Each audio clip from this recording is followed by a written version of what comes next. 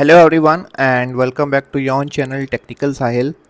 In today's video we are going to explore an easy method which shows us how we can verify bulk emails using a desktop software. This one. The best part about the software is that it does not require any SMTP service or cloud hosting environment. Yes, it will validate emails by not just checking their MX records but through a proper SMTP authentication method using the TCP port. I had previously made a video on an email verifier which is currently unavailable on this channel due to some YouTube policy violations. However, during the time that the video was available and for those who have watched it, the biggest challenge they faced was setting up that script, which I have shown in that video was a PHP script which I had set up and demonstrated in that video. The video was itself a 35 to 40 minutes lengthy and also it requires a proper SMTP server. But with this software, no such setup is required. First, you will need to extract this zip file.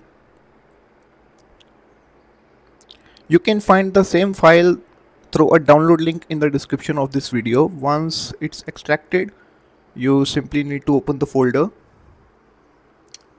and this software comes up with the source code. If you are familiar with C sharp it is written in C sharp language. So if you're familiar you can simply uh, you must have Visual Studio installed on your PC if you know how to code on C sharp. So you can also open this project and do some modifications according to your preference. But if you simply does not want anything to change in the code you simply uh, need to open this folder bin folder and debug and simply you need to open this application.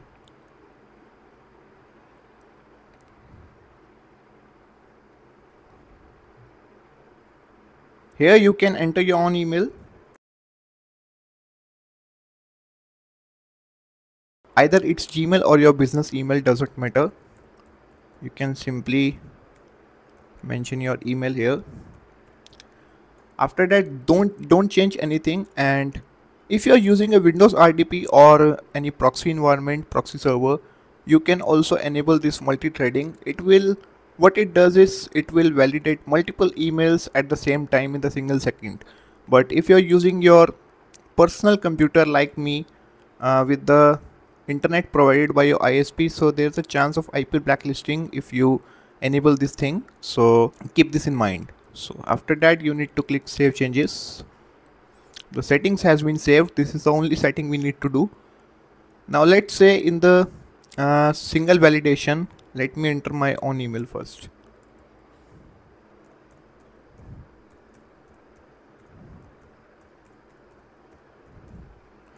And click check it now.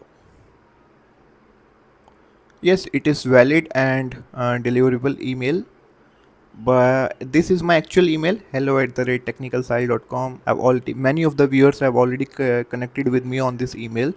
But let's try a different email on the same domain. Let's say hi because i does not have any email like hi at the rate technicalsahil.com so let's check.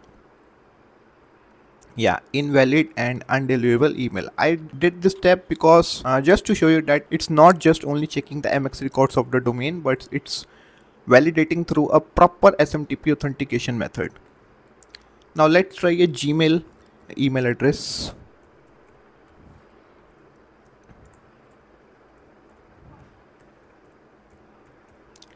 It's my valid email. So let's see it show yeah valid and deliverable.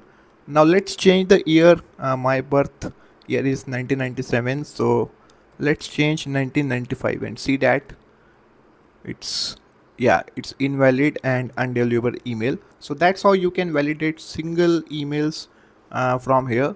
If you want bulk validations you simply need to click here.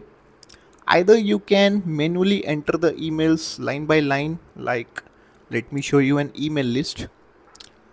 That's the email list.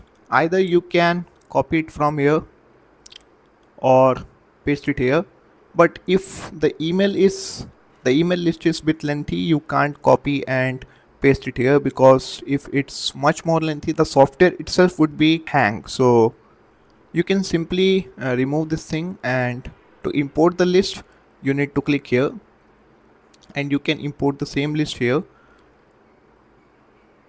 Uh, this one. And you can see that was also 18 it has also 18 so it has picked up the emails which contains by the list. So let's start validating. It's validating very fast you can see.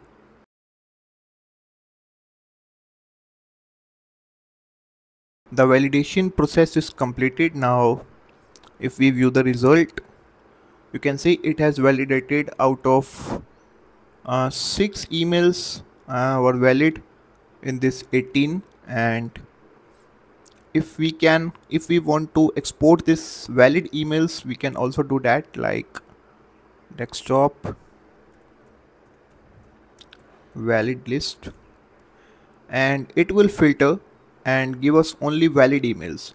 Simply in case of invalid but uh, this is not useful because what you will do with the invalid emails but it it has its own use case. Like if you are validating for something else some uh, different purpose it's also an option here. And this is the option which we usually require to validate and filter the email so that we can directly import our list in the email sending software and we can do the other stuff.